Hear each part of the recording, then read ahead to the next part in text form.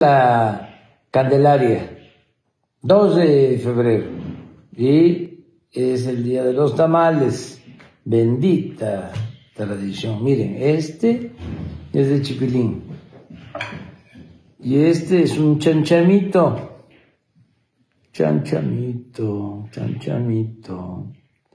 A ver si lo agarro completo. Bueno, ahí va. Tengo mis manitas limpias. Entonces, esta es una salsita que lleva sobre todo el de chipilín. ¿Eh? Estos son tamalitos tabasqueños. Y me está tomando Beatriz, que ahora le, le dejé tres. Adiós, adiós.